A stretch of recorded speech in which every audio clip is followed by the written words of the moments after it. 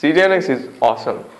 It's a fun-filled three-day event happening in Burbank. It's organized by the Creative Talent Network, and it's the best three days you can have as an animation professional. I mean, it has got everything right from uh, live workshops, live demonstrations, uh, discussion panels, recruiting, reviews. You get to meet all the animation artists, all the professionals you have been following. You can buy a lot of books, merchandise, and there is a breathtaking display of amazing artworks from all around the world. For me, it was perhaps the best time I've ever had as an artist in recent years. I had fun. Uh, this year, I was uh, featured in a character design panel. So first we have Dattaraj here from, from India. Su- Sharing stage with Tony and Florian and Bobby was, was amazing. I have been following Tony and uh, you know Florian for a long time now. Tony is uh, a character designer uh, who has worked on films like How to Train Your Dragon.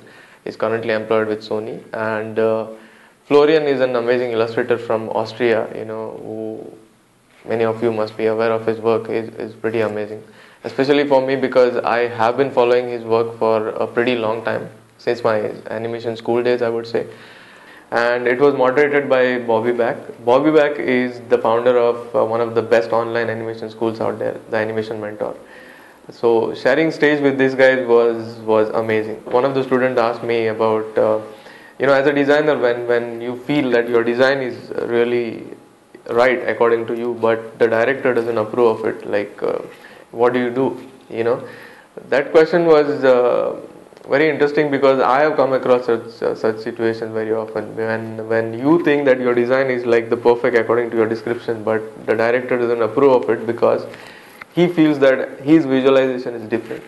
Overall it was it was an amazing experience and i really look forward to see these guys again next year. Before the expo, I was invited for an Earl exhibition, and the moment I walk into the hall, I see Andreas Deja. I, I can't explain that moment because it was so amazing. He has been such an inspiration for everyone out there, and uh, especially because I have been following his blog, his work, his uh, animation videos for a long time. You know, seeing him in person and talking with him was was such a great moment for me. I also got a chance to show him my work the next day. He saw each and every artwork that I had on my portfolio and uh, he gave me like a very detailed feedback. Smaller things like uh, how hands can really improvise uh, my design or what are the strengths that I have and what, what flaws he sees in, in some of the designs. He, he even appreciated a few of those and mentioned uh, the influence of Indian uh, culture on, on my designs. You know, the, the kind of feedback I got was I, I feel it was very to the point and I could literally see my designs, uh, you know, uh, on a different level if I could just, you know, do what, what he advised me to. This was perhaps one of the best moments at CTN for me. Oh man, I'm, I'm really fan of it. Wow. Such a nice range of different shapes and good. I remember uh, coming across uh, Torsten's Don Quixote designs. You know, I remember that moment when I really fell in love with his work and felt like doing something on my own. So, in a way, he was one of the few artists who inspired me at the start. It is it is quite commercial this time, but it has something really unique, and it is your handwriting in it, you know. So and that makes it so unique, you know. I meeting him at, at CTN was uh, a great moment for me because uh, you have that emotional attachment with, with the work of this person. You have always been followed his work and you're looking up to him and meeting him was was amazing. So I was like, but it was for for, for that Indian studio. So Wow. So you designed those dogs? I designed some dogs for them. I got the. This was for that. Those were for the. Oh yes, now I see it. There were a lot of. No, this was for the other one. This for the other feature. I don't know. I don't have them all here. You? He was so nice to talk to. He was so humble, and uh, although we have been chatting on Facebook uh, for a while now, but meeting in person was a different joy altogether. Hello. Hello, everyone. Look at these beautiful works. Wow. Here, here. Look. This is beautiful. This, I love the space here. Oh, it's wonderful. Will Terrell is, is such a great guy. You know, uh, he was so much fun to talk to. Oh, I love that face. Look at that. That expression. He's like, you're playing out of tune.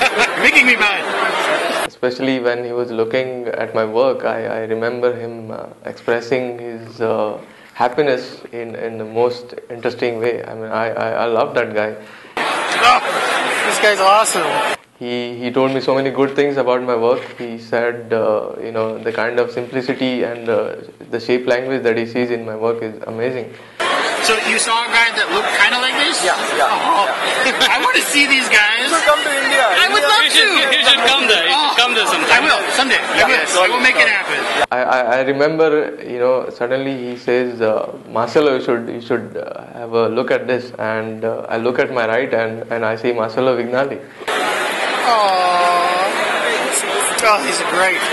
I got to show these to Marcelo. Uh, it was so so amazing. It was so good to see Marcelo Vignali because uh, I have been following his sketch club for a long time. I'm such a big fan, and uh, Will Will kind of introduces me to him, and uh, he looks at my work. He, he even called me inside his booth. I was I was sitting right next to him, and uh, he was flipping through my work. It's beautiful work.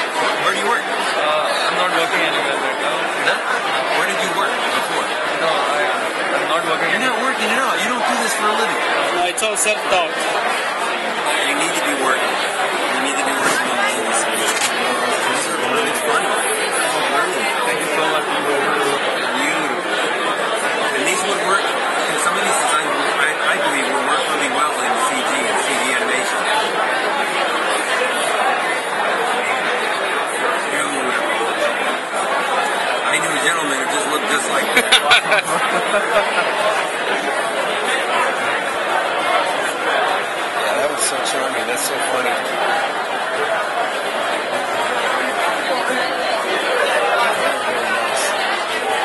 I'll definitely take your word okay. and talk to them. Okay. And, uh, and hopefully, you know, something can come from it.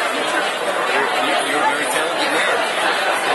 Thank you so much. And he even showed me his own sketchbook. I mean, he just pulled out his original sketchbook from his bag, and he's like, you know what, you, you should have a look at this. And uh, it was beautiful. It was it was amazing.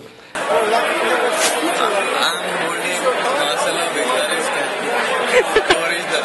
It's like for me, it's like He's sitting right next to you. I know. Open class meetings nowadays, you know, I think perhaps the most memorable moment for me in the in the expo, meeting Marcelo and Will, it was it was really really good, really beautiful. I hope you use this talent to, to inspire others to make the world a better place. It's awesome. I remember uh, being at uh, John Nevarez' booth. You know, I was waiting in line so that I could I could show him my portfolio, and uh, I I hand him my portfolio, and he flips through one of the pages, and and suddenly he says, "I know you." You know, that was that was amazing.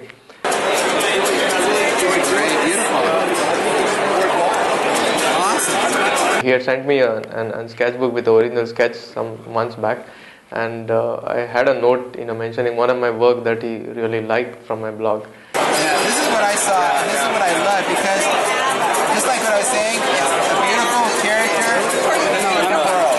You're creating an environment that he lives in. Beautiful. He, he even was so kind to to, to pull out one of the papers and and uh, you know explain me what what my character designs could be with with a little bit of storytelling in it. You know, he he pulls out one of the ladies which I which I did, and uh, he says, you know, instead of instead of putting these three different kind of Indian ladies in one page, why don't you make them do something together? You know, he relates them with a story, and and he just he just draws. You know, he just quickly does a scribble, and he shows me. You know, it would be so amazing to see the see them in in a, in a story. Maybe she's selling. Yeah, okay. Maybe she's like this. She has a mango, and it's rotten. Yeah. You know.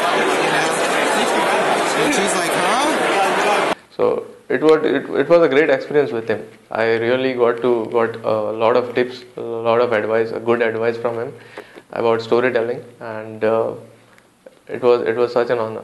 It's just, I mean, it's already beautiful, but now it's like it's in a different area. You've crossed the line of character design, and now you're doing vision development. I, I had a chance to work briefly on uh, one of Tony White's projects uh, some months back, and uh, meeting him in person at CTN was uh, amazing. I am not sure if you recognize me. It's what? You told me for the character. Yeah, that's right. Yeah, yeah, yeah. Okay, so you're selling it, yeah. Uh, you know, he he he was so kind to tell me that he, he really liked my work and uh, he would he would love to see me work on some of the big productions someday. That was that was amazing. He was so so inspired by the individuality or the uniqueness in my designs, and he said, you know, The more you can keep it someday I would I would love to see them in, in one of the feature films that and he even mentioned that I'm I'm good as everyone that is around. But I love your work. It's fantastic. You, you're as good as anyone yeah. I think you are. That was very inspiring for me. I hope you guys can get a film going. Because if you can work in this, like a film in India, it will be great. I have every sketchbook of Chris Sanders, and uh, meeting him at the expo in person was was amazing.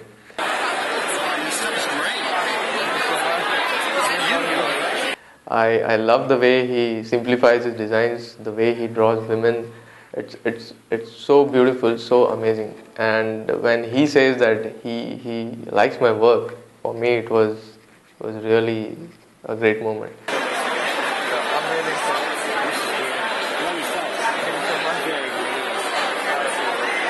I uh, also did a small demonstration for Copic markers this year, and uh, it was a pretty interesting experience because uh, I remember watching Terryl Whitlatch, the legendary creature designer, doing a demonstration on the same stage just before me. Imagining that uh, you are supposed to do a demonstration after Terryl Whitlatch was was such a pressure. You know, I I remember when when I, when I started doing a demonstration, I, I was gathering all my art materials, and uh, I see there is only one lady who is who is just in front of me, looking at the screen, and uh, that was my audience. You know, just one person. But uh, I just got along. I, I just started doing my demonstration. I just did a small character, and uh, when I finished it, I, I was getting up. You know, I couldn't see anybody because there was there was such a you know focus of light on my face. So I just get up and I, I see a small crowd of people standing there appreciating my work. You know, it was it was such an amazing moment. All this while, you know, I, I never got a chance to get my work assessed from some somebody who, who I always looked up to. So, so showing my work to all these uh, legends out there, you know, all the artists I've, I've admired for so long, and getting a positive feedback was uh, very inspir- inspiring, very motivating. You know, I would say I'm, I'm much more confident right now in, in my work, and uh, it has also given me a lot of new opportunities, a new uh, perspective to look at animation designs uh, because uh, I was exposed to so many variety of designs out there. There were artists coming from all over the world. They had uh, some amazing display of artworks on their booths, and uh, you know I also got a chance to speak with some of them, just uh, you know to understand how they how they take animation design, you know how they really go about it, how, what is the thought process, and um, from where do they get the inspiration. So overall, it has really charged me up. It has really you know uh, given me a lot of new things to look up to, and uh, yeah, hopefully in this coming years, I'm definitely going to you know, be making use of that and coming up with much better work. Well, I'm planning for a for a small book which will feature all these artworks that I've I've, I've showed uh, all my inspirational artists as my portfolio. Uh, getting introduced to Copic markers was uh, one of uh, the best thing uh, because I, I, it was a very new medium for me and I really enjoy working with uh, markers. So this new book will feature most of my new works with uh, Copic marker colorings. The, one of the one of the new things I tried in this book is uh, rather than keeping it just you know plain artworks, what I've done is I've tried to include a lot of tips and tricks and insights on my design.